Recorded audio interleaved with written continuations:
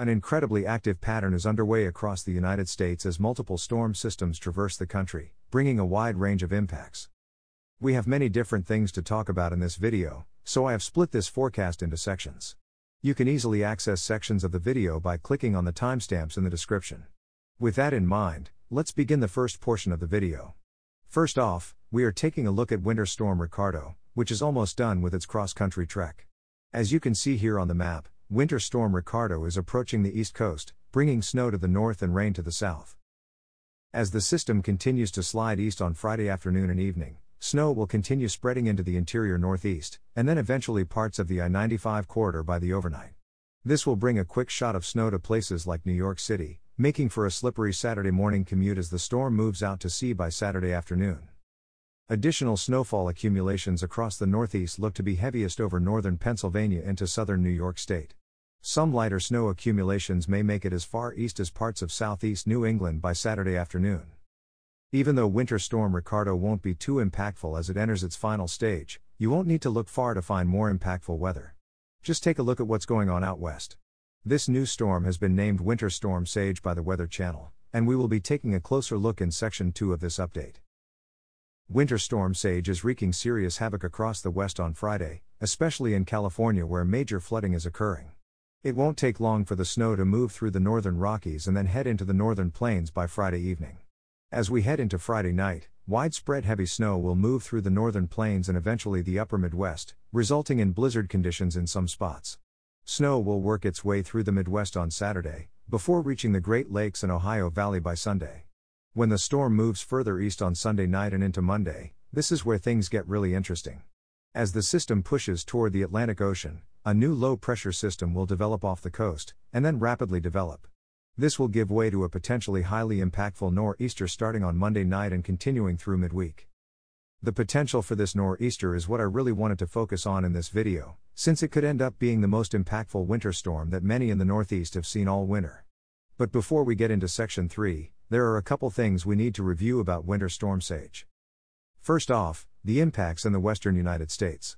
An incredible rainfall event began in California on March 9, and it is continuing into Friday, March 10, as I make this video.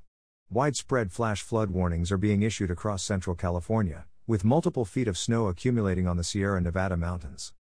The Weather Prediction Center has even issued an extremely rare high risk of excessive rainfall for portions of California. To put this into perspective, there hasn't been a high risk of excessive rain since Hurricane Ian in September. That just shows you the magnitude of this rainfall event. Those are the impacts for the West, but what about the central and eastern portions of the country? When Winter Storm Sage enters the northern plains and upper Midwest by Friday evening and night, blizzard conditions will be possible, which is why blizzard warnings have been issued from portions of northern Montana into North Dakota. The track of this storm will keep most of the heavy snow really far north, as you can clearly see on this snowfall map. Widespread heavy snow is expected from the Sierra Nevada mountains and up into the northern Rockies. A swath of heavy snow is expected from the Montana and Canadian border down through the Dakotas and onto the upper Midwest. Some lighter snow may make it as far south as the Ohio River Valley as the storm pushes east. The South is also expecting some impacts in the form of severe weather as well, starting tomorrow. The severe weather threat will begin in parts of the Mid South on Saturday, March 11th. The primary risk area will extend from eastern Oklahoma to northern Mississippi, where damaging winds, large hail, and even tornadoes will be possible.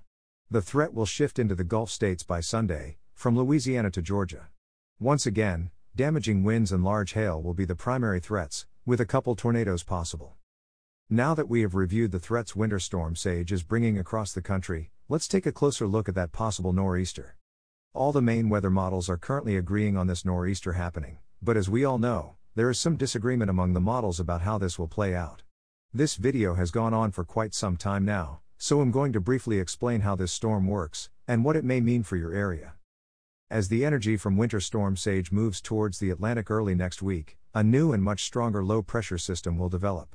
This is what will give way to this nor'easter, as it pulls in warm and moist air from the Atlantic, with cold air pouring in behind the storm, over the northeast. The reason why the forecast is so tricky is because any small shift in the track could drastically change your snowfall totals, and I'll explain why. If the low pressure system moves close to the coast, then it would be all rain for the coast and for areas like Boston. If the low pressure system is too far, then the majority of the snow will stay off the coast, with only coastal areas receiving snow, while the interior northeast remains dry and cold.